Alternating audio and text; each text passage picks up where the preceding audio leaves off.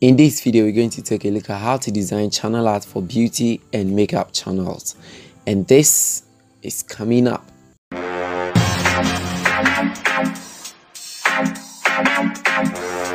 This video was motivated by Eman Beauty.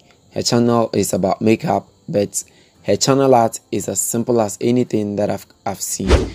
So without any further ado, let's see how to do this. First of all, the resources will be in the link. So if you want to use any of these that I use in this video, check out the link in the description. I have the YouTube channel template that I'm going to select and bring into my Photoshop. Immediately I bring it into my Photoshop, I'm going to select my rectangle tool and then I'm going to draw a rectangle over here to cover the place that has been specified for us. So like this one. And then I'm going to make sure that I have my rulers marked to the tablet section of my Photoshop. So I'm going to just drag and drop the rulers over here and that of this place. So next I'm going to turn on my rectangle and then we are set to go. We don't want this background so let's quickly go to our resources and then I'm going to import this particular background inside of Photoshop so it is going to take the whole of the image and then I'm going to take here to make sure it is done. Afterwards I'm going to right click and then rasterize the layer go to filter and then blur and then Gaussian blur. So I'm going to apply a Gaussian blur of 45.6 depending on the resolution that you are using you might want to change it. So let's move on to the main design. I'm going to import my picture. First of all I'm going to make use of this particular picture a GH actress, a Ghanaian actress called Nana McBrown. This video has nothing to do with her. I'm just using an image and then her name for this. It has nothing to do with it. So what I'm going to do is I'm going to right click and then rasterize this and then right click and then select create clipping mask. So basically it is going to fit straight into the rectangle that we created. So I'm going to press Ctrl T and then I'm going to resize it like this and make sure I place it over here. So that was the essence of the ruler to make sure it does not go outside of the tablet mode. So I double click to make sure it is done. Now this picture here is not fitting with the background. The background has to be something that fits straight or that fits to that of the picture.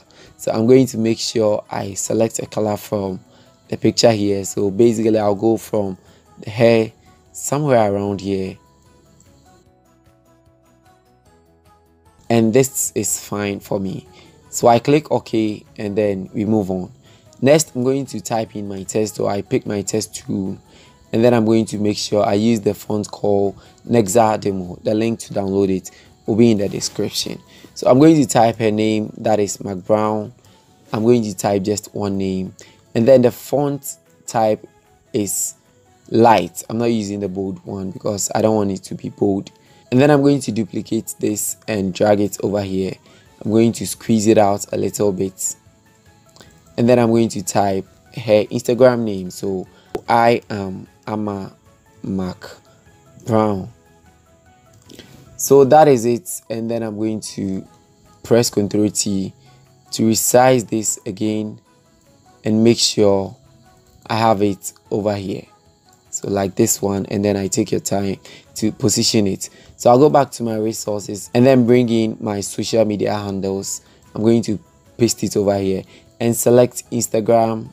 That is the only handle that i'm adding. This video is inspired by Eman Beauty so I'm going according to how her channel art was designed. So basically i'm going to double click over here and then make sure i change the color to something white. And then i press ok to make sure everything is set. Next the last thing that i'm going to do is i'm going to import this particular makeup kit also and then i'm going to place it over here. And then i'm going to press ctrl t to transform and resize it and then I'm going to place it right there. So you can make it a little bit smaller like this. So I can zoom in for you to see it clearly. Now these ones are looking a bit bigger so i'm going to transform it to make it a bit small and then i position it over here. So lastly i'm going to duplicate the McBrown and then i'm going to write new video every week. So new video every week. So for that one i'm going to make sure i use the bold one here so that you can see it very clearly. And then I position it here. It's too big. So I press ctrl T and then I will resize it very nicely like this one. So that is it we are done with the design you can edit this particular channel at any time you want. All that you need to do is you go for the picture. This is the picture section. So you go in for your next picture say this particular picture over here and then you drag it over here. So you're going to right click and then rasterize and then you right click and then you create clipping mask.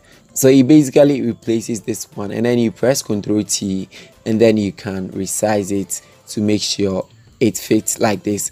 Either way you can just turn off the first one that we are working on. And then you have a new background you have a new set of background.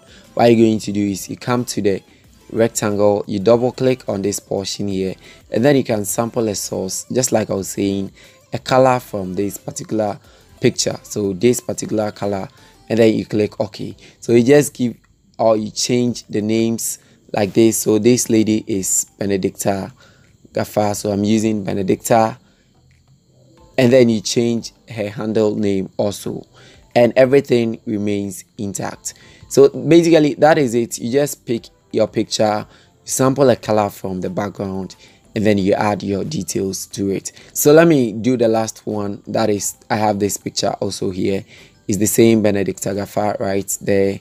So you right click and then you rasterize and then you create clipping mask and then you bring it over here. So you press Ctrl T to resize like that and then you place it right over there.